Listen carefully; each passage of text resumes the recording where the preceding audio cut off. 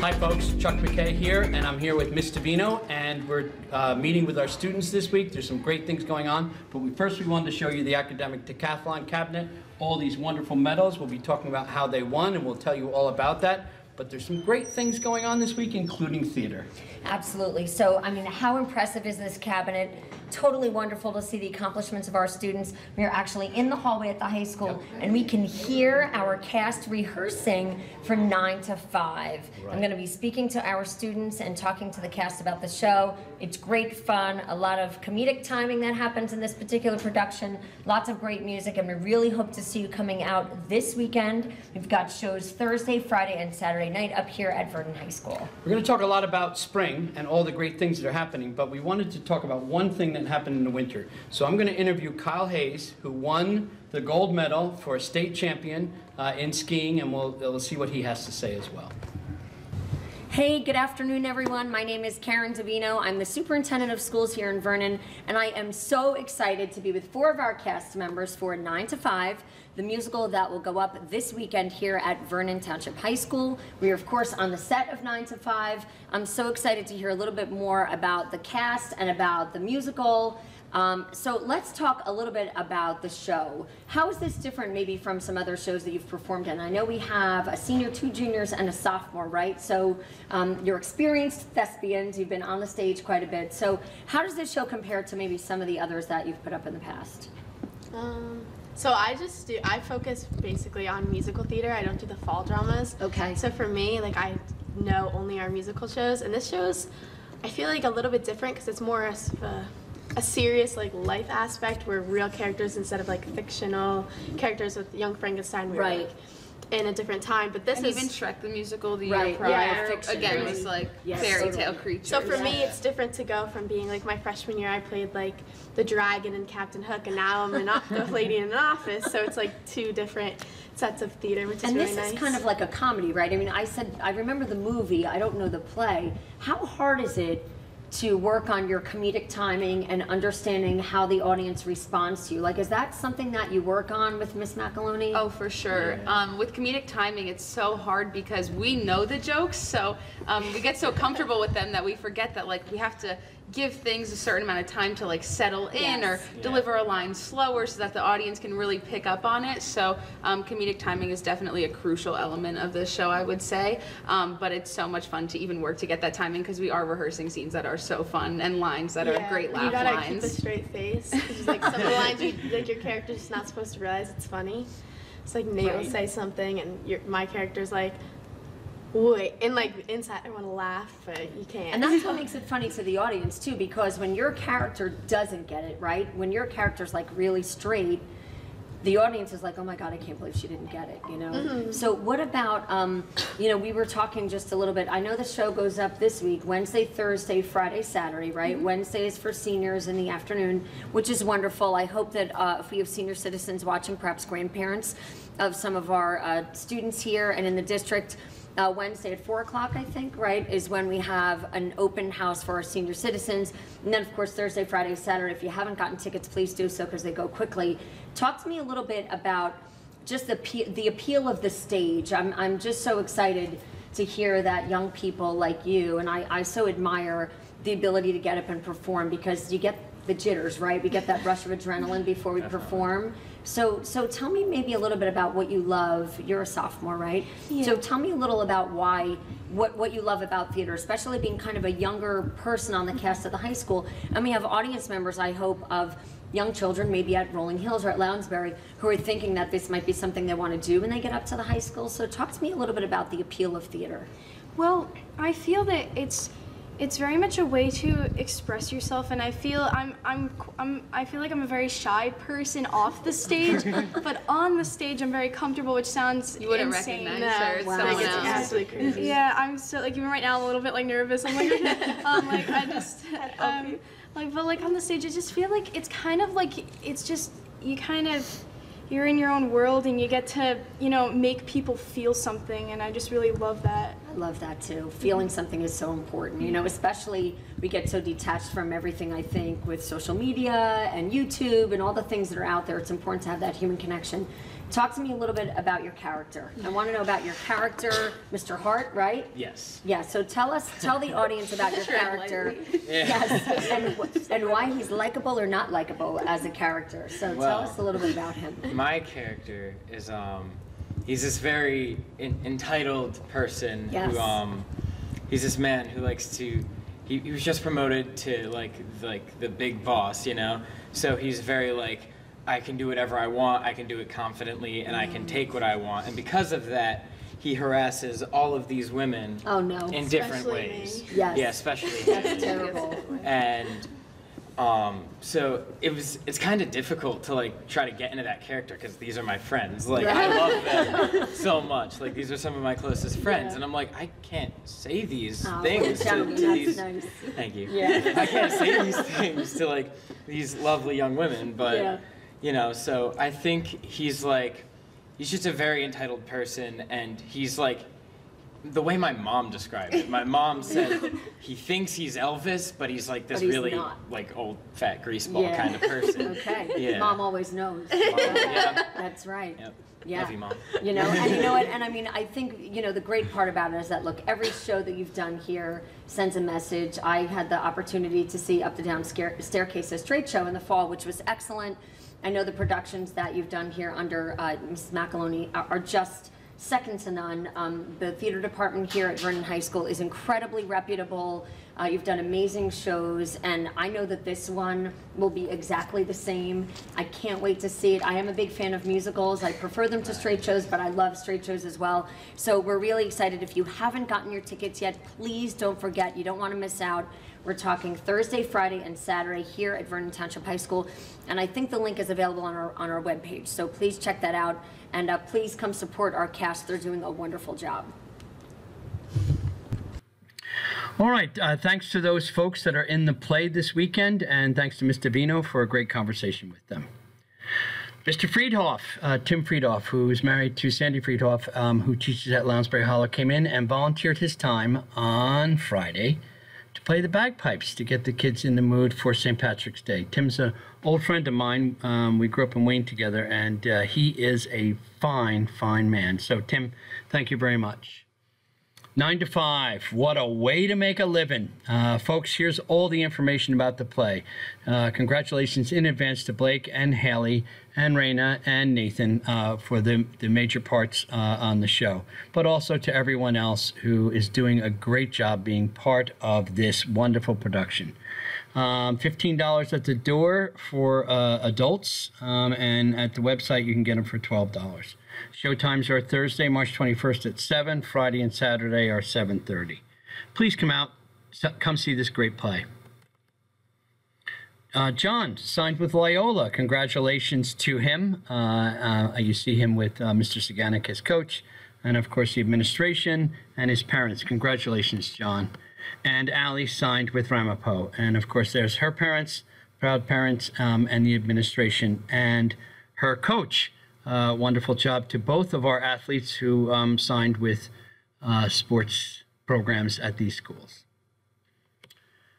Paul Zanuck was here today at Cedar Mountain. He's the author of Monster Needs Your Vote and Other Monster Stories, and he presented to the Cedar Mountain students. Uh, it was a great time. Ms. D'Avino was there with Ms. Gebhardt, uh, and the students asked questions from the perspective of being readers and writers. And what does it mean to be an author, and what does it mean to have great stories?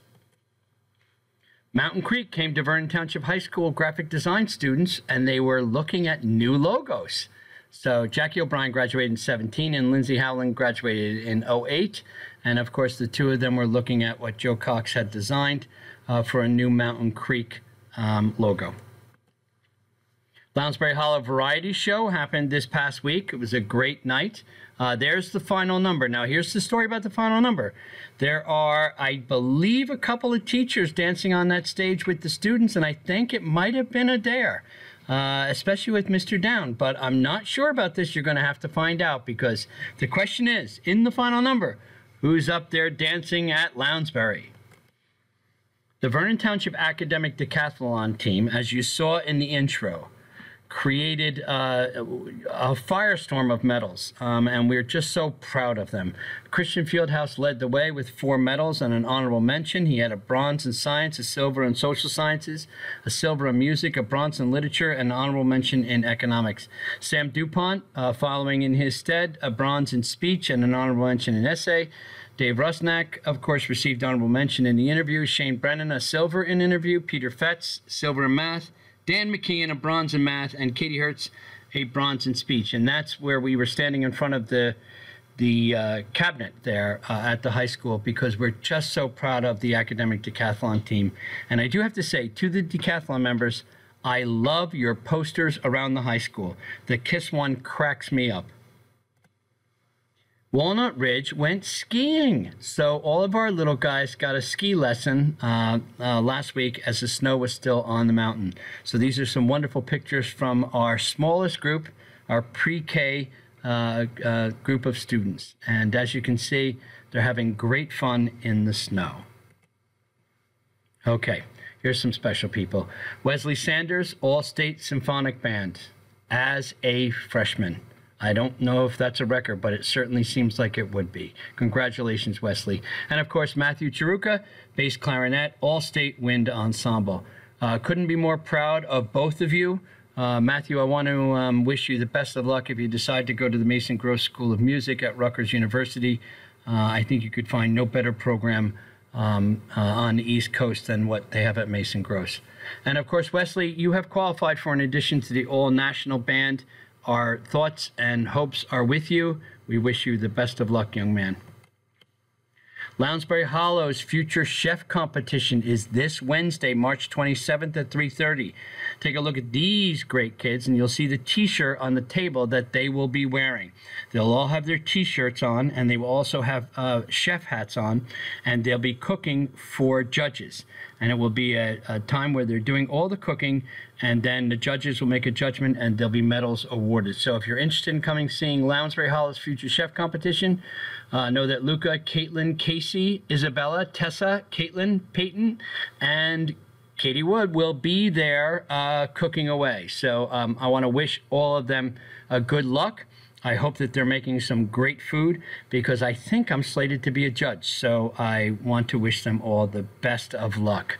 Uh, at this wonderful competition. I think we missed somebody in the picture, um, and I apologize, but I just wanted to make sure we got this picture out to everybody. All right, now you talk about pride. Here is the Vernon High School Marching Band leading the parade. That's right, leading the St. Patrick's Day Parade in New York City on Saturday. What a incredible, incredible honor. So these are some great shots uh, from Fifth Avenue. And you can, as you can see, um, what a great, great honor this has been for our high school. So congratulations to all the band members all the, the music teachers, uh, and of course the parents who support uh, this program completely. We're very proud uh, to be connected with the Vernon Marching Band. Last night was Meet the Coaches Night um, at the high school. I want to thank Mr. Foley for his great work on this. All the coaches got together with their students um, and had a nice conversation saying, let's get started with the spring season. I know sometimes it doesn't seem like spring, Although I would argue this Saturday and Sunday we had that first sense that spring was here. And let's hope that our kids have nice clean fields to play on with no snow uh, and tracks to run on with no snow so that they can enjoy the best of athletic competitions. Shark Tank Hackathon is happening March 29th and 30th. This year, we're going to have it at Vernon Township High School. I want to thank the Vernon Educational Foundation for their sponsorship. Uh, Shark Tank will be uh, at 7 o'clock. It'll be Glen Meadow students, and what will happen is they're going to uh, sit in front of a group of sharks, uh, judges, and they're going to discuss the projects that they have created. The judges will then decide uh, which one they want to adopt as a business. And then at 8.30, the hackathon begins, and it's an overnight event um, for the high school kids. They're on different teams um, and they will be uh, given a challenge. And uh, what they do is they have to solve that challenge or come up with solutions. And finally, please remember 9 to 5, the musical, March 21st, March 22nd, and March 23rd. There are the times, and there's the way to get tickets. All right. Okay, so there's some terrific news going on uh, throughout the school district, but I really wanted to highlight and spotlight somebody who is phenomenal. I'm with Kyle Hayes, and Kyle Hayes is now our state ski champion, uh, boys uh, champion, and uh, we want to talk a little bit about this amazing, amazing athlete. So, Kyle, tell us a little bit about the competition that you had. Um, it there's multiple events. There's both GS and slalom, and we have to do one run in GS and one run in slalom, and then they combine the both times, mm-hmm. and whoever has the fastest combined time is the overall winner for the state. Is there one race that you prefer over the other? I prefer slalom. I just Why is that? It's a lot tighter, a lot more quick feet, and Right. it's just a lot more technique, and I've always loved that. Now, with skiing, it's mostly split second times, right? Yes, it comes down to a hundredth of a second at a Wow. time. yeah. All right. And did you know right away that you had won, or did it take a while to compute it all and, and figure out whether you were the winner or not? No, it, it's pretty obvious from Yeah. the beginning. You can do the math. And the times aren't always final, but most of the times they are, even when you come down the hill. Right. And they have live, live timing up on the internet, so you can actually go onto a website and look up the live timing and see where you are. And No kidding. Yeah. All right. Now, um, it's cold out there. Of course, everybody's watching you. What are some of the concerns you have when you're preparing for a race?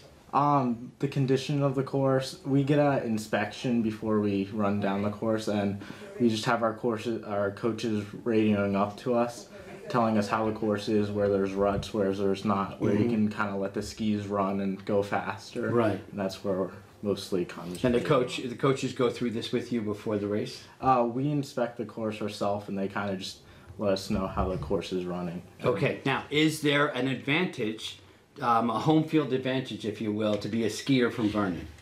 Not really, because all of the teams uh, kind of train at Mountain At Mountain Creek, yeah, right. So they all know the hill, and even if you don't train out of that hill, the conditions are always different. So it's kind of hard to uh, say To that prepare, you have, right? Yeah, Yeah. prepare and say Yeah. that you have an advantage because Right. from the whole mountain. Yeah, good, good. All right, and Kyle, what happened when you won? Um, there's a podium. We had a picture of you last week in the podcast.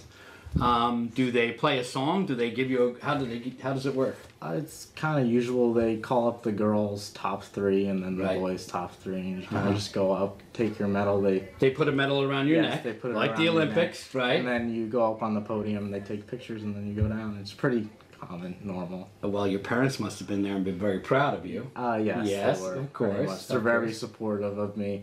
They send you a whole bunch of camps outside of uh, high school. I was actually just in Austria at the beginning of the season doing a ski camp out Okay, now I want to be a skier. Okay, just saying. Right, Austria. That's Yes, fantastic. it was it was my first time skiing out of the country, and it was amazing. Good. Where in Austria? Uh, Hintertux. Oh, fantastic.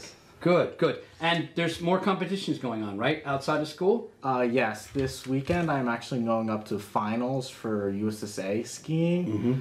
and that's basically the same. You do of races in New Jersey, and then uh, they add up all your points at the end of the season, Mm-hmm. and whoever's at the top, the I think it's pretty sure it's like top 16 go up to these finals.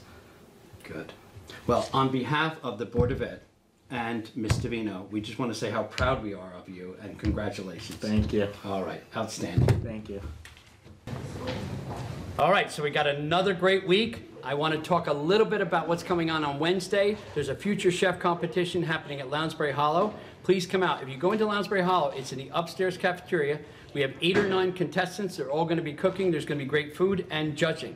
So, you have free time, come and join us. And I think that's Wednesday right after school. at Wednesday right 3:30, after school at right? 3:30. Yep. And then don't forget, if you are the parent of a youngster, of a kindergartner, we have kindergarten registration the first week in April at Cedar Mountain. So it's really important that we get your students here and excited about being a future Viking. It's going to be great. Come join us.